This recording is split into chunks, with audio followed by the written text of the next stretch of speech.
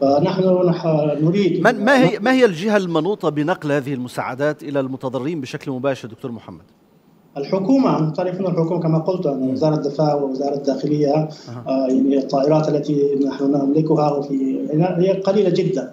فنقل المساعدات في في الطائرات وأيضا من النقل البري. هذا صعب جدا لأن الطرق هناك وعره جدا نعم. تلك المناطق نائية وأيضا الطرق غير معبدة. فللأسف هناك مشكلة في نقل المساعدات وأيضا هناك إيجاد مأوى لهؤلاء المشردين. للأسف لا يجدون هناك مكان آمن على الاقل أن يطمئنوا فيه أو يناموا بإطمئنان. هذه مشكلة أساسية.